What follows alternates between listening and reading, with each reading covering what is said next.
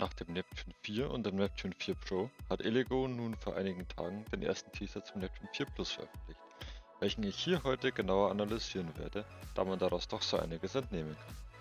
Zum fünfjährigen Jubiläum hat Elego auf Facebook am 8. September ein Gewinnspiel gestartet. Den Link hierzu findet ihr in der Beschreibung. In dem Post wird als erster Preis ein Saturn 3 Ultra, welcher schon auf dem Markt ist, oder ein im Moment noch nicht erhältlicher Neptune 4 Plus angegeben. Da die Gewinne Ende September bekannt gegeben werden, könnte man hier schon vermuten, dass somit der Drucker bereits in zwei bis drei Wochen verfügbar sein könnte. Neben dem Text wurde noch ein Bild der Preise gepostet, welches eindeutig einen neuen FDM-Drucker enthält. Eine Kombination aus der Neptune 3 Plus und dem Lüfter des Neptune 4, aber in einer neuen, eher grünlicheren Farbe. Da wir nun ein Bild vor Augen haben, können wir uns auch schon ein paar Spezifikationen ableiten. Wie der Neptune 3 Plus dürfte auch der Neptune 4 Plus eine Druckfläche von 320 auf 320 mm haben. Analog zum Neptune 4 dürfte sich durch den zusätzlichen an der X-Achse montierten Lüfter die Höhe des Bauvolumens um 15 mm verkleinern. Somit ist mit einer maximalen Druckhöhe von 385 mm zu rechnen.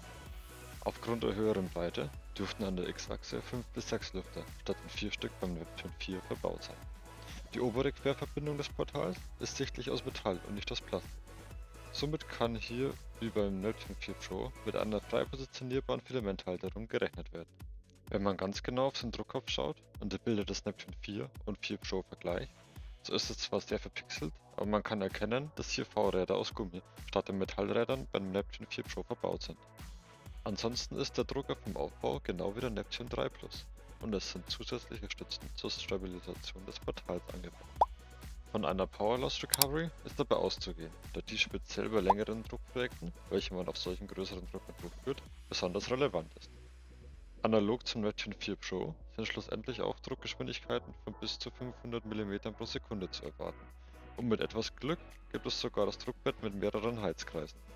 Insgesamt sagt dieser kleine Teaser also schon sehr viel zum neuen Drucker und ich erwarte in den nächsten Wochen weitere offizielle Informationen.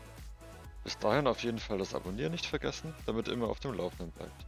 Und schreibt gerne eure Gedanken zum Neptune 4 Plus in die Kommentare.